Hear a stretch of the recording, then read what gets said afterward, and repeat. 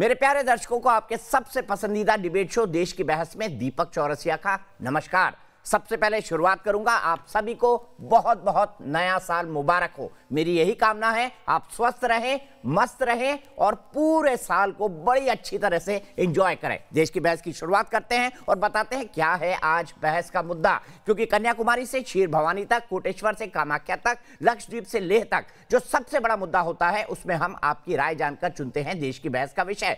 बहस की दशा और दिशा भी आपके माध्यम से तय होती है। साथ ही शो में आप और हमारे एक्सपर्ट पैनल मंच को साझा करते हैं और देश में हो रही सबसे बड़ी हलचल पर बेबाकी से अपनी बात रखते हैं। तो आइए शुरू करें देश की बहस। माननीय जनता और मेहमानों के साथ। आज आपने देश की बहस का जो मुद्दा तय किया है, वो है 2021 में आतंकिस्तान पर और तेज होगा प्रहार। इसे 80 फ़ीसदी लोगों ने वोट देकर देश की बहस का मुद्दा बनाना चाहा है। जो हमें छेड़ेगा, उसे छोड़ेंगे नहीं। आतंकवाद पर न्यू इंडिया की आक्रामक नीति का असर है कि घाटी में आतंक और उसके कमांडरों को चुन चुनकर काम तमाम किया जा रहा है। इसीलिए पाकिस्तान और उसकी आतंकी तंजीमें बौखलाई हुई हैं। इसी बौखलाहट का असर है कि अब आतंकी निशाने पर गैर मुसलमान, यानी हिंदू और सिखों को निशाना बनाने में लगे हैं। इस्लामाबाद की शय पर जो एजेंडा पाकिस्तान में हिंदुओं के खिलाफ चल रहा है, ठीक उसी तरह का एजेंडा कश्मीर में पाकिस्तान अपने आतंकियों के ज़रिए चलाने की फिराक में है। नए निवास नीति के तहत अब जम्मू कश्मीर में हिंदुओं और दूसरे समुदायों को उनका हक मिलने लगा है तो पाकिस्तानी टीआरएफ जैसे आतंकी संगठन गैर मुसलमानों को धमकाने लगे हैं। कल शाम श्रीनगर में सतपाल निश्चल की हत्या करने वाले आतंकी ने धमकी भरा पोस्टर जारी किया है कि घाटी में हिंदुओं को बसने नहीं देंगे, मगर टीआरएफ जैसे आतंकी संगठन लाख हथकंडा चला ले उनका हश्र वही होगा जो लश्कर और जैश के कमांडरों का हुआ है।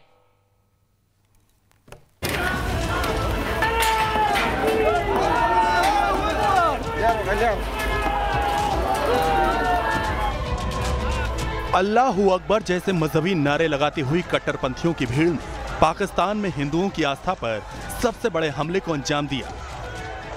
150 साल पुराने ऐतिहासिक मंदिर में हमले की ये वो बोलती तस्वीरें हैं। जिसने साफ़ कर दिया कि इमरान के कट्टरपंथी हिंदुओं से कितनी नफरत करते हैं।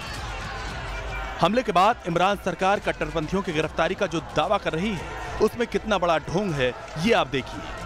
कट्टरपंथी मौलाना, जिसने मंदिर को तहस नहस करने की साजिशें रची थी, खैबर पख्तूनख्वा में वो भड़काऊ तकरीरें करता रहा और पाकिस्तान सरकार तमाशा देखती रही। भड़काऊ मौलाना ने ही कहा था कि जो मंदिर गिराने में मारा जाएगा वो शहीद कहलाएगा। और हुआ वही जिसका डर पाकिस्तान में अल्पसंख्यक हिंदुओं को था।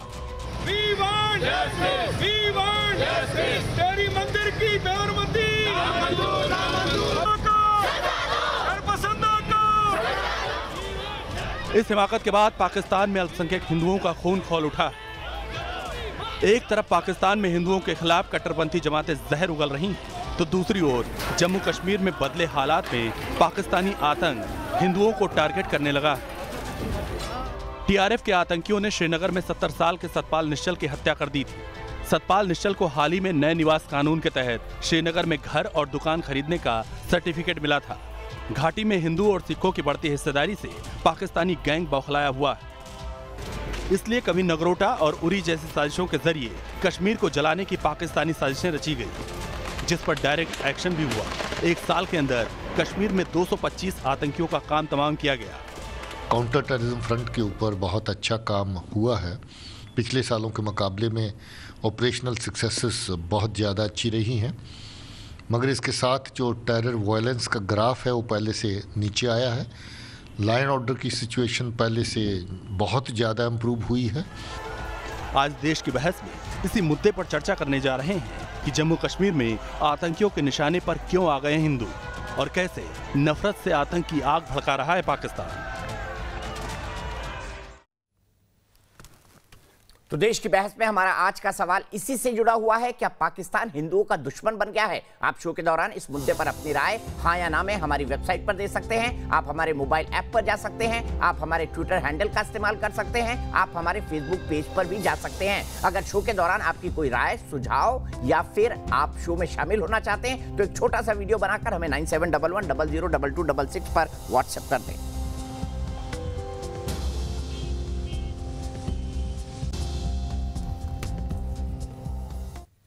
तो बहस की शुरुआत करते हैं। आज इस बड़ी बहस में हिंदुस्तान के नुमाइंदे होंगे और पाकिस्तान से भी हमारे गेस्ट जुड़ेंगे। लेकिन सवाल यही होगा, क्यों हिंदुओं का दुश्मन बन गया पाकिस्तान? दो दिन पहले तस्वीर दी। आज भारत ने कड़ा विरोध जताया है। खैबर पख्तूनवा में जिस तरह से मुसलमान मौलवियों द्वारा एक हिंदू मंदिर को बदले की भावना से तोड़ा गया निस्तनाबूद कर दिया गया आग लगा दी गई। सुप्रीम कोर्ट के कहने पर उसका जीर्णोद्वार हो रहा था। क्या पाकिस्तान के प्रशासन के हाथ से वहाँ के मौलाना मौलवी निकल चुके हैं? इसी पर बात होगी। सबसे पहले मैं आमंत्रित करूँगा प्रेम शुक्ला जी को। भारतीय जनता पार्टी के राष्ट्रीय प्रवक्ता हैं। मेरे साथ मेजर जनरल के के सिन्हा जुड़ गए हैं जाने माने डिफेंस एक्सपर्ट हैं। देश और दुनिया की आ, तमाम गतिविधियों पर नज़र रखते हैं। मेरे साथ लेफ्टिनेंट जनरल गुरमीत सिंह है, former deputy chief of army staff हैं। मेरे साथ जुड़ गए हैं डॉक्टर इरशाद अहमद खान, लीडर हैं पाकिस्तान मुस्लिम लीग नवाज़ शरीफ पार्टी के। मेरे साथ कमर चीमा हैं, पाकिस्तानी सिक्योरिटी एक्सपर्ट और मेरे साथ फकर यूसुफ जई साहब हैं, वो भी एक पाकिस्तानी सिक्योरिटी एक्सपर्ट है। सबसे पहले मैं शुरुआत करूँगा आप सबको नए साल की बधाई देते हुए कि आप सभी को नया साल बहुत बहुत शुभ हो। प्रेम शुक्ला जी, सबसे पहले मैं शुरुआत आपसे करूँगा और मैं ये कहूँगा कि क्यों पाकिस्तान के निशाने पर अब हिंदू आ गए हैं। कश्मीर में टीआरएफ ने एक हिंदू व्यापारी को इसलिए मारा क्योंकि उसने वहाँ पर घर खरीदने की कोशिश की घर खरीद लिया। हिंदुओं के एक मंदिर को कैबर फख्तूनवा में इसलिए तोड़ा गया क्योंकि वो सिर्फ़ हिंदुओं का मंदिर था। क्या ये अपनी पुरानी सभ्यता संस्कृति ये कहाँ पैदा हुए हैं कहाँ से आए इसको सबको भूल चुके हैं? दीपक जी सबसे पहले मैं आज आपके दर्शकों को आपको सारे लोगों को नौ वर्ष की शुभकामनाएँ दूँगा। बहुत बहुत नौ वर्ष सबका जो है वो शांतिपूर्ण बीते सबका विकास जो है बढ़े। मुद्दे की बात यह है पाकिस्तान हिंदुओं का विरोध। भाई पाकिस्तान की बुनियादी हिंदू द्रोह पर है। जिनको हिंदुओं के विरोध में जाकर मुसलमानों का राष्ट्र बनाना था संकल्पना ही पाकिस्तान की हिंदू द्रोह के आधार पर थी। और जब से इन्होंने आतंकवादी घटनाएँ शुरू की हैं इन्होंने आतंकवादी घटनाओं में हमेशा टारगेट इनका कौन रहा, निशाने पे कौन रहा? हिंदू रहे। आप 12 मार्च उन्नीस सौ तिरानबे का श्रृंखलाबद्ध विस्फोट मुंबई का देखिए। समय ऐसा चुना गया था, शुक्रवार का दिन, जुमे की नमाज़ का समय कि सारे मुसलमान उस मस्जिद में रहेंगे और हिंदुओं को हम चुन चुन कर मारेंगे। 12 मार्च उन्नीस सौ तिरानबे देख लीजिए। आप 2006 में जो ट्रेन में मुंबई की ट्रेनों में जो है बम विस्फोट हुए निशाने पे कौन थे? सारे हिंदू थे। अक्षरधाम मंदिर, रघुनाथ मंदिर जो संकट मोचन मंदिर सिद्धि विनायक मंदिर, अगर इन सारे लोगों को हमले की जद में लाया जाता है तो निशाने पर कौन है? हिंदू हैं। अगर कश्मीर की घाटी में कश्मीरी पंडितों को चुन चुन कर मारा जाता है तो निशाने पर हिंदू हैं। छब्बीस ग्यारह की घटना होती है, निशाने पर हिंदू और यहूदी है। तो पाकिस्तान की पिछले, जब से पाकिस्तान का जन्म हुआ है पाकिस्तान उन्नीस सौ सैंतालीस में जब पाकिस्तान ने कबायलियों को के बेश में और अपने सैनिकों को भेजा था उसमें भी टारगेट कौन थे? हिंदुओं पर ही हमले किए जा रहे थे। दस लाख हिंदुओं को विभाजन के समय जो है, हिंदुओं की हत्या कर दी गई। किस लिए कर दी गई? पाकिस्तान के न्यू में हिंदू द्रोह है। पाकिस्तान के न्यू में कट्टरता है। पाकिस्तान के न्यू में जो है, यजीद का इस्लाम है, जिसके तहत जो है, लगातार जो भी ईमानदार है शांतिप्रिय है, विकासगामी है, ऐसे लोगों की हत्या करना, उनके खिलाफ हिंसा करना। भाई, पाकिस्तान में जरा शिया समुदाय जो है, जरा सा जो है शांति की बात करता है तो उनकी मस्जिदों में जो है, आप देखते हैं किस तरह नमाज़ अता करने लोग खड़े होते हैं। उनकी हत्या कर दी जाती है। अहमदिया जो है, वो शांति बात, शांतिपूर्ण बातें करता है। अहमदिया को बैन कर दिया जाता है। हिंदू मंदिरों में सैकड़ों की तादाद में हिंदू मंदिरों को या तो ध्वस्त कर दिया गया या उनको मस्जिदों में बदल दिया गया, या उनको कमर्शियल कॉम्प्लेक्स में बदल दिया गया। कारण क्या है? कारण सिर्फ़ ये है कि पाकिस्तान इस बात को झुटलाना चाहता है कि पाकिस्तान के पूर्वज हिंदू थे। भाई, पाकिस्तान का इतिहास क्या है? पाकिस्तान का इतिहास सत्तर पचहत्तर वर्ष पुराना है और पाकिस्तान का जो धर्म है, उसका इतिहास क्या है? तो उसका इतिहास भी बड़ी मुश्किल से तेरह सौ वर्ष पुराना है। पाँच हज़ार वर्ष पुराना जो है आपकी सभ्यता है और इस पाँच हज़ार वर्ष की पुरानी सभ्यता में आप तैतीस सौ वर्ष जो है, आप क्या थे? या तो हिंदू थे, या तो बौद्ध थे, या तो जैन थे। तो ऐसी स्थिति में जो है, पाकिस्तान के पास में अपने पूर्वजों को भुलाने के लिए कि हमारे पूर्वज हिंदू थे, हम कालांतर में मुसलमान बने हैं और मुसलमान बनने के बहुत दिनों के बाद हम पाकिस्तान का हमने निर्माण किया है। एक ऐसा अभिशप्त देश है जिसका अपना कोई इतिहास नहीं है जिस इतिहास जिस इतिहास पर गर्व कर सके। इतिहास पर गर्व करने की बात आएगी मोइनजोदड़ो की बात आएगी। तो मोइनजोदड़ो क्या इस्लामिक था, क्या सभ्यता? आप बात करेंगे तक्षशिला विश्वविद्यालय तो क्या इस्लामिक विश्वविद्यालय था क्या वो? तो आप पाकिस्तान का ऐसा कोई शहर नहीं है, पाकिस्तान के चप्पे चप्पे का जो इतिहास है, वो हिंदू इतिहास है, बौद्ध इतिहास है या जैन इतिहास है ठीक है। में मैं सीधे। सीधे इसी सवाल को कमर चीमा के पास लेकर जाता हूँ। कमर चीमा कर रहे हैं वो। कमर चीमा क्या पाकिस्तान अपने पूर्वजों को भूल गया? और आप बात याद रखिएगा नया साल है बड़ा बोलना नहीं चाहता हूँ लेकिन हिंदुस्तान की स्ट्रेटेजी साफ़ है। छेड़ेंगे नहीं छेड़ेंगे तो छोड़ेंगे नहीं। और आपके शेख राशिद धमकी दे रहे हैं। बोलिए धमकी देना बंद कर दें यहाँ पर उनकी जो शक्ल और अकल है वो किसी कॉमेडियन से कम नहीं लगती। देखें बहुत शुक्रिया दीपक चौरासिया साहब। मैं सिर्फ़ इतना कहता हूँ कि अगर कल का भूला हुआ आज वापस घर आ जाए तो उसे भूला हुआ नहीं कहते। हम लोगों ने इस्लाम कबूल कर लिया तो हमें बड़ा फख्र है कि हम मतलब आपसे भूल हुई थी आप मान रहे हैं। आप अपने आप को भूला हुआ मान रहे हैं। आपसे भूल हुई थी इस्लाम कबूल करके और एक कट्टरवादी मुल्क बना के आपने मान लिया कमर चीमा इस्लाम कबूल करना आपकी भूल थी मान गए आप। दस हज़ार साल पुरानी आपकी सभ्यता है। पाकिस्तान की लेकिन आपका है क्या? मुझे आप आप चाहते हैं मैं बोलूँ कि ना बोलूँ? अगर चाहते हैं मैं बोलूँ तो मुझे बात करने देना। सर भूल स्वीकार करेंगे तो मुझे टोकना पड़ेगा ना आपको बताना। पड़ेगा। देखिए एक्सपोज होगा कमर चीमा। मैं ऐसे बात नहीं करूँगा। अगर आप चाहते हैं कि मैं बात करूँ तो मैं बात करूँ मुझे टोकिएगा मत हाँ, बोलिए। सिंपल सी बात है। हमने हम मुसलमान हैं आप हिंदू हैं। आप अपनी जगह खुश रहे हमें अपनी जगह दें। सिर्फ़ इतना कहूँगा कि जो पाकिस्तान में जिन्होंने मंदिर गिराया, उनको सजा मिलनी चाहिए। पर जिन्होंने इंडिया में बाबरी मस्जिद गिराई, उनको अदालतों ने क्यों छोड़ दिया? ये इंडिया इस तरह का क्यों बन गया? आप, हमारी सुप्रीम कोर्ट ने तो मंदिर गिरने पे नोटिस दिया है। आपकी सुप्रीम कोर्ट ने कहा, मंदिर गिरा मस्जिद गिरी है तो मंदिर बनाओ। एल के अडवाणी समेत सारे लोगों को छोड़ दिया गया।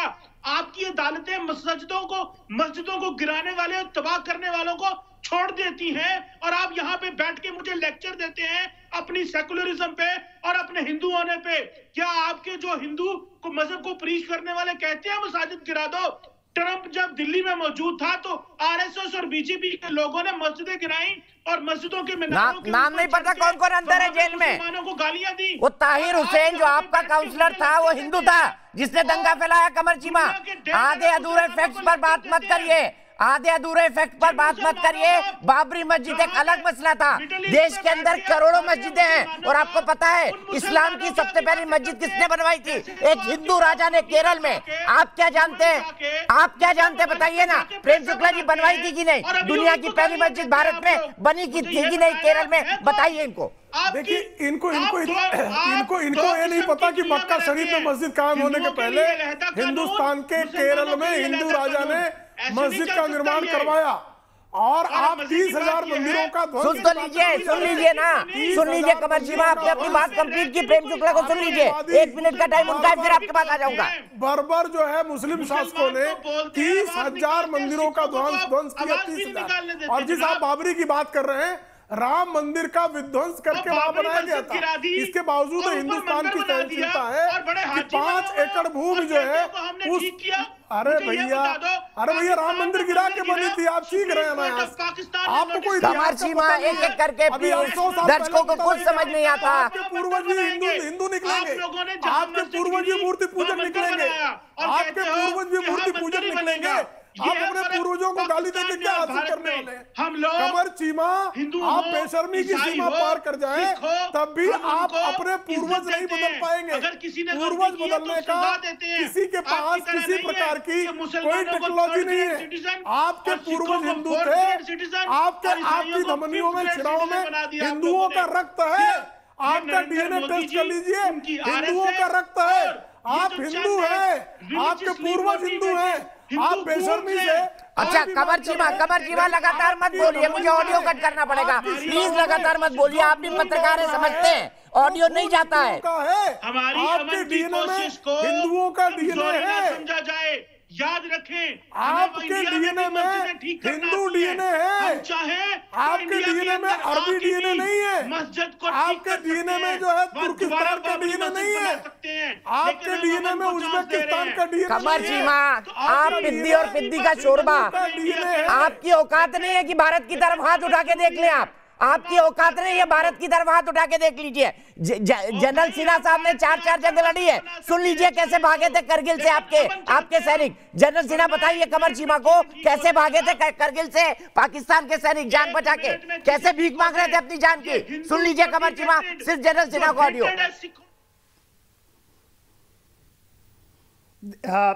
सुने सुने पहले तो दीपक जी, नए साल की आपको आपके चैनल को देश के सारे जो लोग सुन रहे हैं और हमारे जो गेस्ट बैठे हैं पाकिस्तान से, नए साल का मुबारक और आपका बहुत शुभ रहे।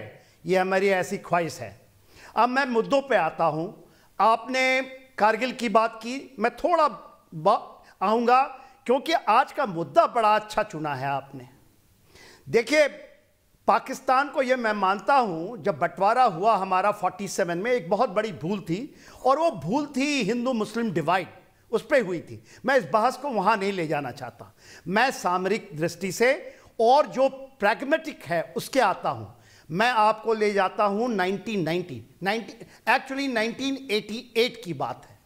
जब रशिया का जो यूएसएसआर अष्टवाइल जब उसको तोड़ा गया, और कैसे टूटा तालिबान और जितने भी आतंकवादी संगठन थे तो एक आवाज़ आई, उठो उठो, सवेरा हुआ। ये ये ये आवाज़ें गूंजती थी अफ़गानिस्तान में, पाकिस्तान में और फिर कश्मीर में। उठो उठो, सवेरा हुआ, रूस ने बाजी हारी है।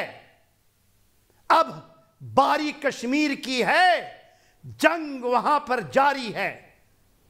यदि कश्मीर में रहना होगा अल्लाहू अकबर कहना होगा। ये मेरी आवाज़ नहीं है दीपक जी। वो कहते थे यदि कश्मीर में रहना होगा अल्लाह अकबर कहना होगा। ये और वो आपने देखा उस पसपंजर को देखा 90 में जिस तरह से कश्मीर पंडितों की लाश बिछा दी। और कैसे पस, ये पूरे मॉडर्न वर्ल्ड के अंदर में मिलिट्री हिस्ट्री के ऊपर में इस तरह का केवल दिखाई दिया 47 के बाद जब 10 मिलियन लोग विस्थापित हुए और भारत से वहाँ से भागकर इधर आए, इधर से उधर गए। कहानी अदर है। और इन्होंने इतना कट्टरवाद, जिहाद भरा 88 और वो कौन थे? इनको भी पता है। जौल हक साहब ने पाकिस्तान को आतंकवाद और कट्टरवाद और जिहाद के लाइन पे शुरू किया था। आपका यही मुद्दा है आज। किस तरह पाकिस्तान पूरे दुनिया को और खास करके जो कश्मीर में है, भारत में, वही एजेंडा चलाना चाहता है। उसकी हार हुई थी। दीपक जी, आपने बहुत चीज़ें देखी हैं। हमने बहुत जंगें लड़ी हैं। इकहत्तर की कारगिल, ये भीख मांगते हम लोगों ने इनको छोड़ दिया। इनके सैनिक मरे पड़े थे। मैंने अपने हाथों से इनके कलमा पढ़कर इनको हमने, उन, उनको हमने दफनाया। उनकी जो भी थी, हम ये मज़हब है जो हिंद, हिंदुस्तान निभाता है। ये हमारे को गिड़गड़ाते थे, पैर पड़ते थे, छोड़ दो। हमने छोड़ दिया। और ये कब छोड़ा? ये है, आपको पता ही है, कारगिल वॉर की कहानी है वीर गाथा है उसकी। और ये ज़्यादा दिन नहीं हुआ है। मगर आज मुझे यह लगता है कि आईएसआई का जो एजेंडा है, इन्होंने किया था शुरू खालिस्तान। वो कहते थे कि हम बांट देंगे, जितने भी बब्बर खालसा हो, या जितने भी आतंकवादी जो हैं संगठन, उनको इन्होंने पनाह दे रखा है। वहाँ तो हार गए, और कुछ ने हराया। हमारे सिख भाइयों ने, आपको पता होगा, ब्लू स्टार के बाद किस तरह से पाकिस्तान कि पूरी की पूरी नापाक जो इन्होंने प्लान बनाई थी, उसको तबाह कर दिया हमारे सिख। और मैं सिख रेजिमेंट को बिलोंग करता हूँ और मुझे बहुत बड़ी खुशी है। और आज फिर उसी लाइन पे आपने अभी बताया कि किस तरह इन्होंने मार डाला। एक बंदा डेमोग्राफी का जब पैटर्न बदल गया 370 हट गए रिस्ट्रिक्शंस खत्म हो गए डीडीए का इलेक्शन हो गया उसके बाद वो मारते हैं क्योंकि उनको मिल गया। ये चलाएँगे। मैं आपको यकीन दिलाता हूँ, ये जनवरी का 2021 का पहला दिन है, दीपक जी। और ये पैनल में बैठे ये लोग, सुन लें, इन्होंने ट्राई किया था नगरोटा में चार लोगों को भेजने के लिए। और चार घंटे में सकड़गल बल से उनको वहाँ पर क्या दर्शत हुई है? एक आदमी ने, टीआरएफ की बात तो टोटल रजिस्टर्ड फंड ये जो इनका मुखौटा था 2019 में इन्होंने खड़ा किया कि पूरा का पूरा नैरेटिव बदल देंगे। ये टीआरएफ कहता है कि हम ये कर देंगे बांट देंगे। आप एक हाथ लगा के देखो कश्मीर के लोग जिस तरह से डीडीए के इलेक्शन में हट खुल के आए हैं ठीक वो है। लोग ये यकीन दिलाते हैं इनको सिखाएँगे कि मज़हब क्या होती है हिंदू मुस्लिम क्या होता है। अरे आप हमें बताते हो, बाबरी मस्जिद? सबसे बड़ा सेकंड लार्जेस्ट कंट्री है। पाकिस्तान कहीं नहीं खड़ा होता। हमें पता है कि हम अपने मुस्लिम भाइयों को कैसे रखते हैं।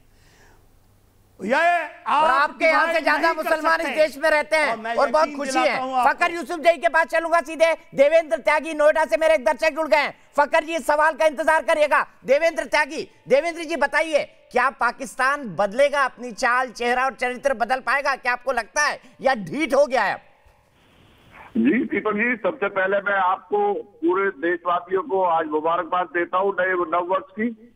और मैं आपको ये बता देना चाहता हूँ कि पाकिस्तान की इंटेंशनली भारत के खिलाफ जो है वो गलत है। पाकिस्तान अपनी कट्टरवादी नीतियों पर चलते चलते अपने आप को बहुत डाउन में ले गया है और इसकी हालत विश्व में बहुत नीचे चली जाएगी। ये 2021 में कहीं टिक नहीं पाएगा। इसका इसका धरातल पे भी कोई ज़मीन पर कोई नाम नहीं रहेगा।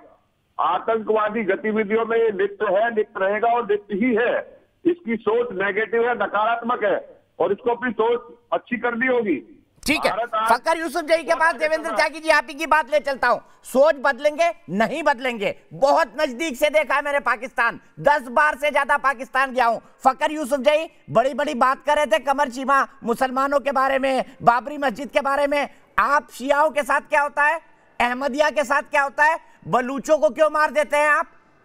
शिया को आप मुसलमान नहीं मानते?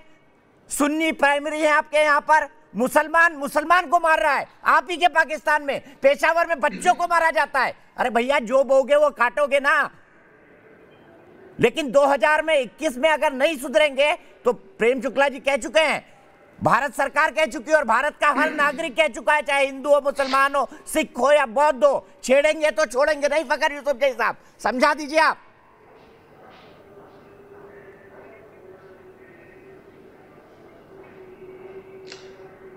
थैंक यू वेरी मच सबसे पहले दीपक आपको एंड uh, जितने लोग देख रहे हैं हमें happy new year to all of you in India and Pakistan and all over the world आपने uh, बातें की बाकी पार्टिसिपेंट्स ने भी बातें की कि आपके मुल्क में मुसलमान बड़े खुश है और हमारे कुछ दोस्तों ने कहा कि हमारे यहाँ हिंदू बड़े खुश है या जो भी है मसाइल दोनों तरफ़ है दीपक। वाकया हुआ टेरी गाँव करक में पुराना मंदिर था जिसको तोड़ा गया। मतलब मैं कहता हूँ किसी तरीके से भी उसको मैं ये नहीं कह सकता कि वो जस्टिफाई होने वाली बात नहीं है। गलत हुआ गलत था और गलत है और गलत कहना चाहिए हमें इस चीज़ को। बात रही फिर आपने एक और बात की कि शिया कम्युनिटी को हम नॉन मुस्लिम डिक्लेयर करते हैं या मानते हैं तो ये बात बिल्कुल गलत है। कोई ऐसी बात नहीं है कि उनको अ, सिर्फ़ सर आप आरज़ू को तो जानते हैं ना आप उनके constitution शरीक हयात हैं। आरज़ू क्या बोल के गई थी पिछली बार? शियाओं के साथ ये होता है।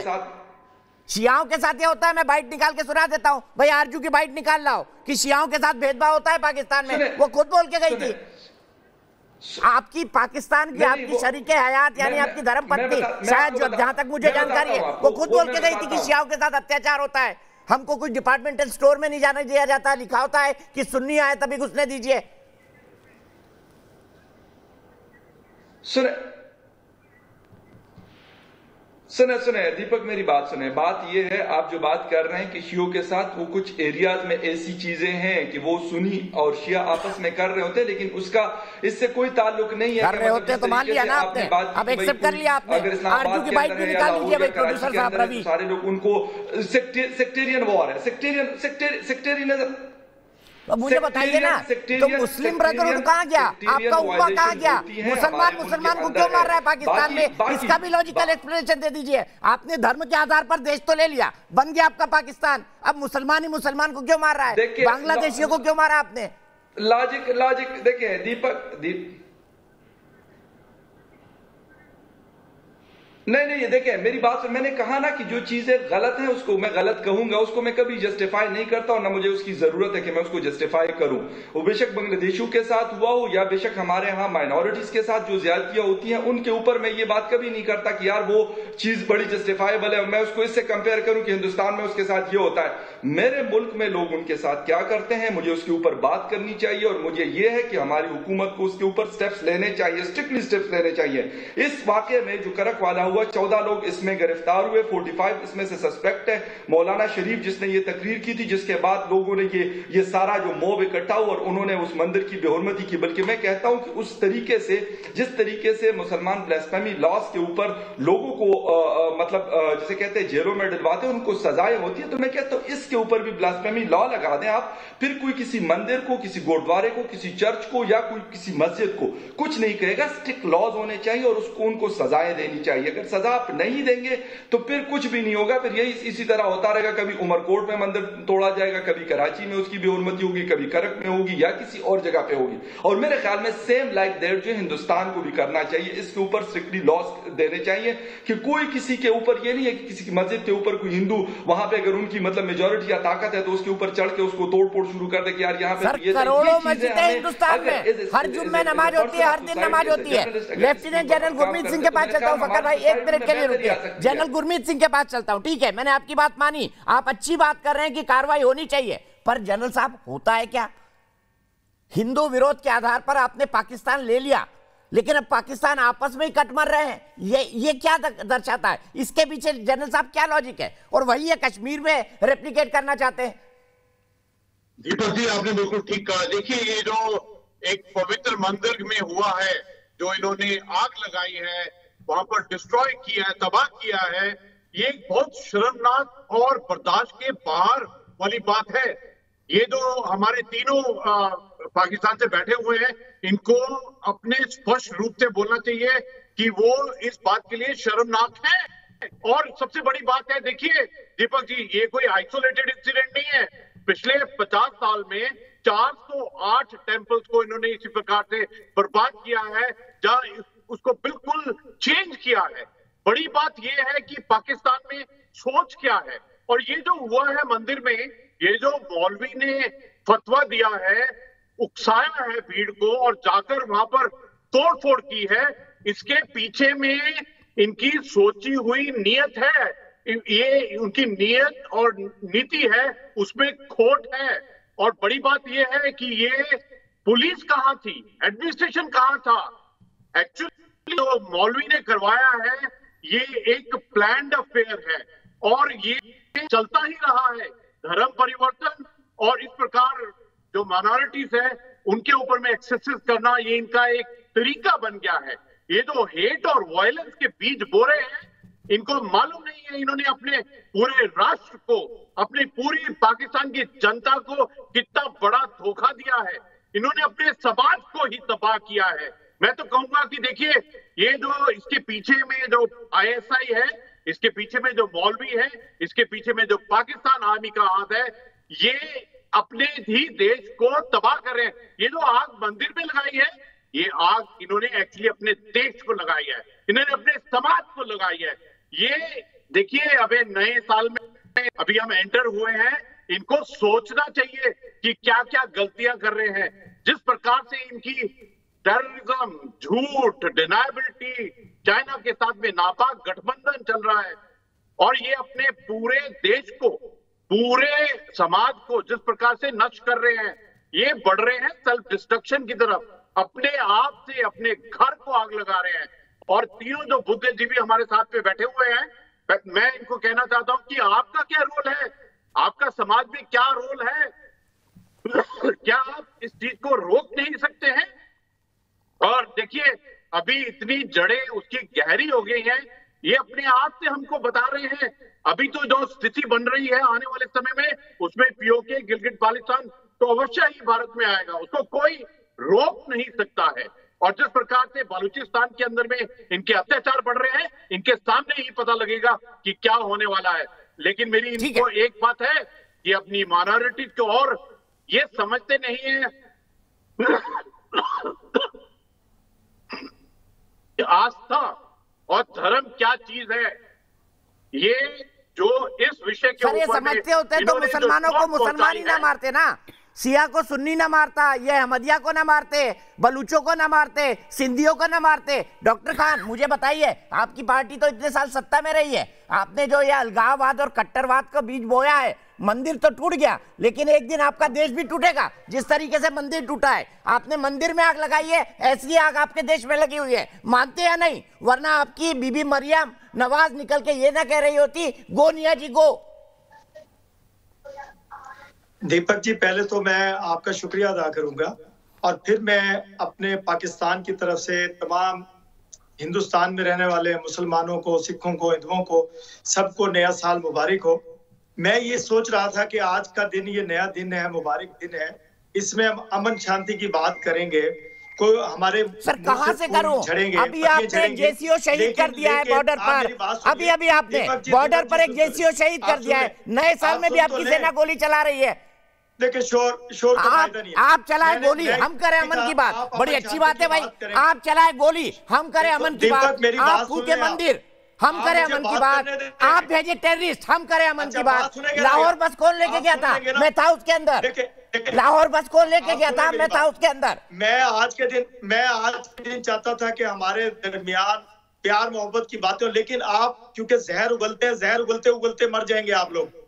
कभी प्यार अमन शांति की बात नहीं करेंगे। आज नया साल था मैं खुश था कि हम एक दूसरे के साथ प्यार की बात करेंगे शांति की बात करेंगे। ये हो रही है ना लेकिन स्क्रीन पे दोनों प्यार मुल्कों प्यार की बात। ये प्यार की बात है। मौलवी ने मंदिर तोड़ दिया। बड़े प्यार की बात है सर। बड़े प्यार की बात है। आपके कि अमन टीआरएफ ने एक हिंदू को मार दिया क्योंकि उसने दुकान ऐसे- खरीदी श्रीनगर में। निकाल के ये प्यार की बात है। खान साहब ये प्यार की बात है। ये आपका मोहब्बत है भारत के प्रति। आपकी जो खून खराब आप करते हैं। पे मैं हैरान होता हूँ कि जब बोलते हैं जहर उगलते हैं आप क्यों उगलते हैं कुछ पता नहीं।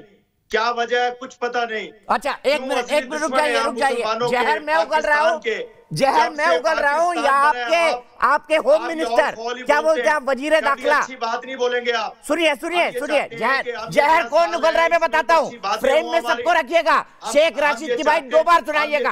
दो बार। एक मिनट डॉक्टर खान रुक जाइए। जहर मैं उगल रहा हूँ या शेख राशिद उगल रहे हैं आपके गृह मंत्री। क्या बोलते हैं? वज़ीर दाखिला। सुनाइए शेख राशिद। सबको फ्रेम में रखिएगा। दो बार सुनाइएगा इनको। हमारे लिए पाकिस्तान ज़िंदगी है, पाकिस्तान मौत है। अगर किसी ने पाकिस्तान की तरफ़ मैली आँख से देखा तो वो आँखें निकाल दी जाएँगी और ना फिर घास उगेगी, ना चिड़ियाँ चहकेंगी, ना मंदिरों में घंटियाँ बजेंगी, क्योंकि पाकिस्तान मुसलमानों का वो एक किला है जिसे सारी दुनिया की मुसलमान देख रहे हैं। सुनाइए एक बार और सुनाइए डॉक्टर खान को। मैंने जहर उगला कि शेख राशिद ने उगला दो दिन पहले। मैंने उगला कि ने उगला सुनिए। तरफ़ आँख से देखा फिर से तो रोल करिए फिर से रोल करिए प्लीज़ डॉक्टर खान नहीं सुन पाया थोड़ा सा। फिर से रोल करिए न चिड़ियाँ चह हमारे लिए पाकिस्तान ज़िंदगी है पाकिस्तान मौत है।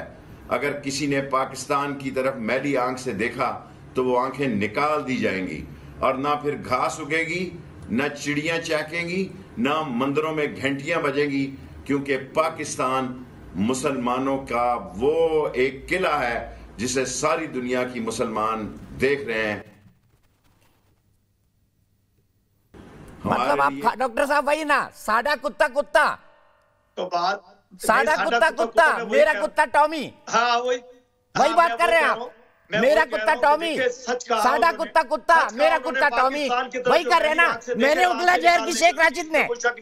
इस पे कोई दूसरी राय नहीं है। सर बताइए ना यहाँ ठीक वज़ीर। दाखिला ने जहर उगला कि नहीं? मंदिर में घंटियाँ नहीं बजेंगी के घास नहीं। उगेंगी एक न्यूक्लियर बम मारेंगे ना तो पाकिस्तान का नामो निशान मिट जाएगा। पूरी पाकिस्तानी फौज जानती है अच्छी तरह। आप आप आप अपने बम तक जाओगे तो पहुंचोगे तो फिर बात है उससे पहले हम आपको निस्तो नाबूद कर देंगे बहुत अल्लाह ना करे कि सर देखिए अरे सर सर सर सर एक सुनिए मेरी बात सुनिए मेरी बात सुनिए मेरी बात सुनिए हम हम मैं इंदौर का रहने वाला हूँ। वहाँ कहावत कहावत चलती है सेंग है बड़ी लोकल सेंग है कि कुत्ता गधा घोड़ा बिल्ली कुछ भी पालो मुगालते मत पालो।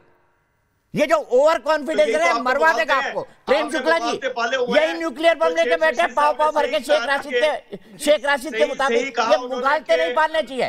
प्रेम शुक्ला जी देखोगे तो आँखें निकाल लेंगे। चोरी की मिसाइलें चोरी का न्यूक्लियर बम चोरी की मिसाइलें चोरी का न्यूक्लियर बम भीख पे चलने वाला देश अब भिकमंगों का देश गधों का देश भारत को आँखें दिखाएगा।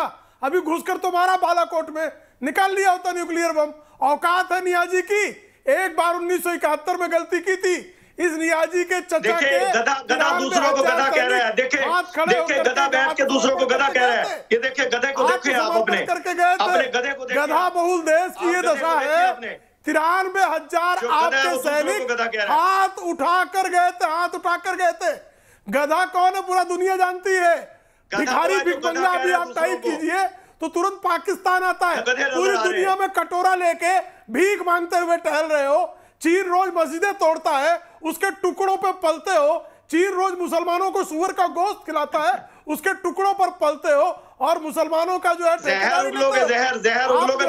पाकिस्तान की लड़कियों को जो है वो चीनियों के हवाले करते हो अयाशी करने के लिए अपनी बहन बेटियों की जो असमत नहीं बचा सके जो मुसलमानों की बात करे और मस्जिदें तोड़ने वाले के टुकड़ों पर पले आपको जो है आपको मुसलमानों का मसीहा मुसलमानों की ठेकेदारी करने का हक हाँ किसने दिया? आपकी हिम्मत नहीं है। चीन के तलवे चाटने आप चीन के तलवे चाटने में आपकी जीप गई। आज भी चीन मस्जिदें गिरा रहा है? सिंधियांग प्रांत में और सिंधियांग प्रांत में मस्जिदें गिरा रहे और उसके टुकड़े पर पलते हो। यानी सुअर खिलाने वालों के टुकड़ों पर पलने वाले मुसलमान है। सुअर खिलाता है जो ज़बरदस्ती मुसलमानों को। नमाज़ नहीं पढ़ने देता दाढ़ी नहीं रखने देता रोज़े नहीं रखने देता मस्जिदें गिरा देता है। उसके टुकड़ों पर पलते हो। आपको मुसलमान होने को है। आपको सब आप तो आप भिकमंगे हो भिकमंगे भिकमंगे की भी गैरत होती है। आप भिकमंगों से भी गैर गुजरे हो। भीख मांगने की भी गैरत होती है किसे भीख लेना ये तय करता है? आपकी तो ऐसी गैरत है कि जो मुसलमानों के मुँह में सुअर ठूस उसके चंदे पर पलते हो उसके टुकड़े पर पलते हो। आपको तो गैरत है क्या? अरे नरकिस्तान नरकिस्तान नरक के कीड़ों की भी गदा, गधा गधा गधे को गधे नज़र आ रहे हैं। लेकिन पाकिस्तान पाकिस्तानियों गधे नज़र आ रहे हैं। नरक के कीड़ों से भी गए गुजरे हैं आप। नरक के कीड़ों से भी गए गुजरे हैं कि सुअर की मांस जो मुसलमानों के मुँह में ठूस दे उसके टुकड़ों पर पले आप। आपका नियाजी जाके वहाँ भीख मांगे कटोरा लेकर खड़े रहे। आपकी तो ये स्थिति है। आपको बात आपको भारत के टेलीविज़न नेटवर्क पर बुलाकर बात करने दी जा रही है। यही आपके ऊपर बड़ी कृपा है भैया। आपकी तो कोई भाई गधे के अलावा आप क्या होता क्या है लेकिन और टिड्डी बिरयानी इसके अलावा क्या दायरे से बाहर निकल रहे हैं क्या जी? टिड्डी बिरयानी खाओ गधों पे तो सवारी करो पाकिस्तान के प्रधानमंत्री क्या है? स्थिति मुझे बताओ नीघी मैं तो गई थी फिर घुस के मारेंगे घिघी बन जाएगी। आपकी तो यह स्थिति है। आपको पैंसठ में मारा इकहत्तर में मारा कारगिल में मारा बालाकोट में मारा करता घुस के आप बताएँगे क्या बालाकोट के बाद क्या कर लिया आपने? कर लिया कौन सा युद्ध जीता है बताइए। बालाकोट में घुस के मारा उन्नीस सौ पैंसठ में मारा इकहत्तर में मारा कारगिल में मारा आपको लतियाते लतियाते आपका भूसा निकाल दिया। अब आओ आपकी औकात क्या है साहब? औकात तो मैं बताऊँगा आपको मारेंगे भाई। भारत की तरफ़ जरा आग देखे चढ़कर मारेंगे। तो, अभी तो बालाकोट मारा है अगर हमने तय कर लिया रावलपिंडी में मारेंगे।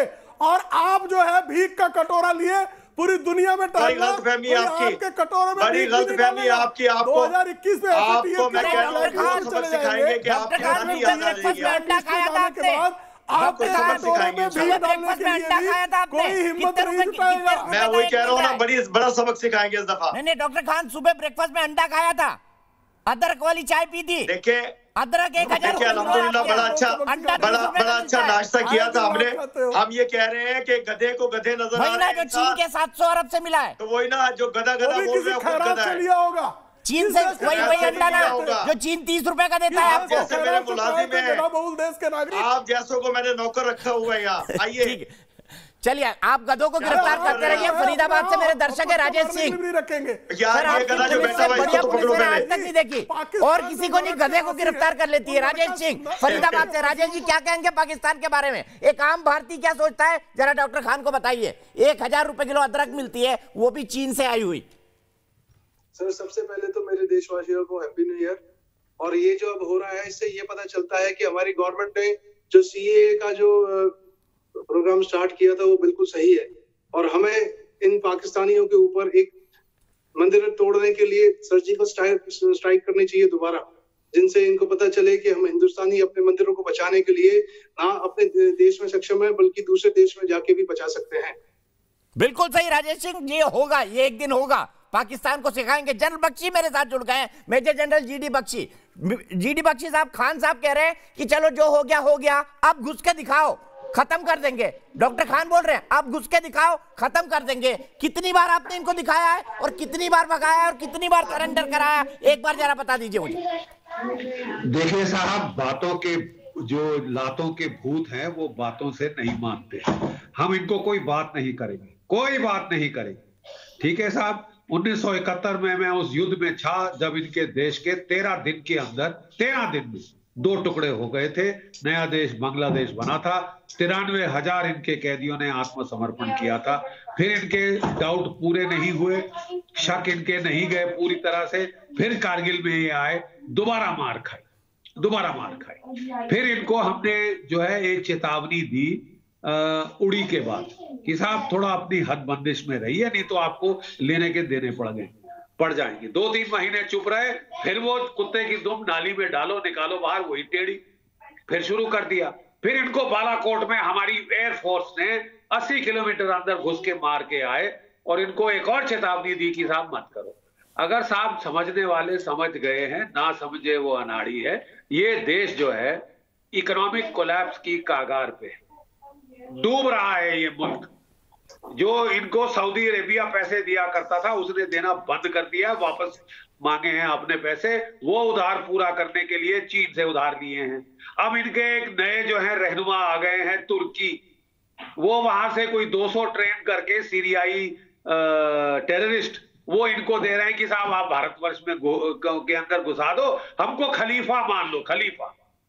हर किसी के तलवे चाटने को तैयार है ये मुल्क, चाहे चीन हो, चाहे तुर्की हो, चाहे सऊदी अरेबिया हो, हर किसी के तलवे चाटे कि किसी तरह भारत के खिलाफ हमारी मदद करो। साहब, अब ऐसा वक्त आ रहा है कि दुनिया आपसे परेशान हो गई है, क्योंकि आप ऐसे लोग हैं जो ना चैन से जीते हैं, ना किसी को चैन से जीने देंगे। जब तक आपके ऊपर कयामत ना जो है ढाई जाए जब तक आपके जो है चार टुकड़े ना किए जाए, आपने दुनिया को चैन से रहने नहीं देना।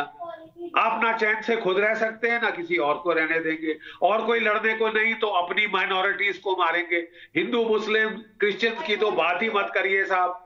हैं, वहाँ की औरतों के साथ रोज बलात्कार हो रहा है, रोज उनको अगवा किया जा रहा है, रोज उनको किडनैप करके ले जाते हैं।